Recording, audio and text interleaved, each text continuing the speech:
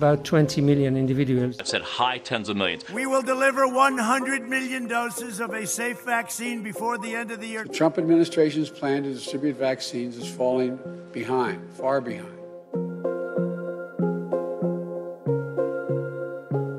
With only a few days left in December, we've only vaccinated a few million so far. And the pace of vac- the vaccination program is moving now, uh, as it, if it continues to move as it is now, it's going to take years, not months, to vaccinate the American people.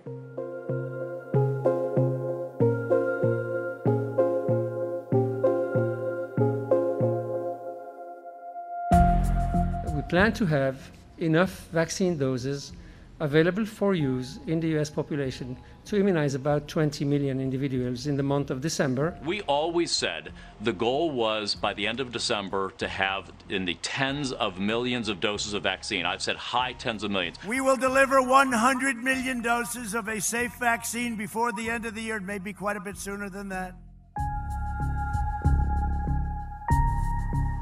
But as I long feared and warned, the effort to distribute and administer the vaccine is not progressing as it should. The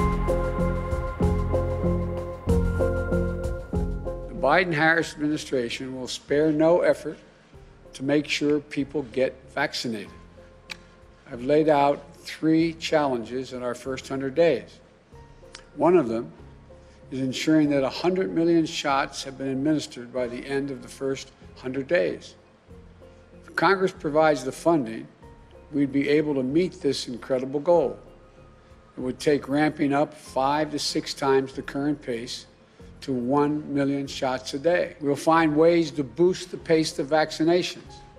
But as Dr. Fauci and others have stated these past few days, this will take more time than anyone would like and more time than the promises from the Trump administration have suggested.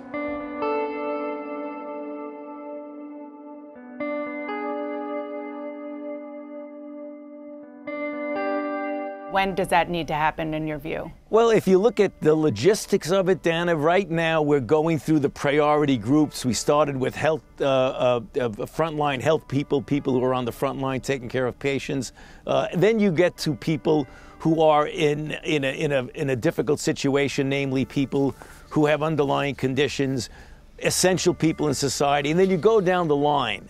Once you get there, what I call open season, namely when anybody who's anybody, you don't have to be a priority person, should get vaccinated. I think we're going to get there probably end of March, beginning of April. So if we start vaccinating the general population in April, from a pure logistics standpoint, it's probably going to take several months to get those people vaccinated that would get us to the 70 to 85 percent group. I think that's going to probably be by the middle to the end of the summer, so that I hope, I hope that by the time we get to the fall, we will reach that critical percentage of people that we can really start thinking about a return to some form of normality. This is going to be the greatest operational challenge we've ever faced as a nation.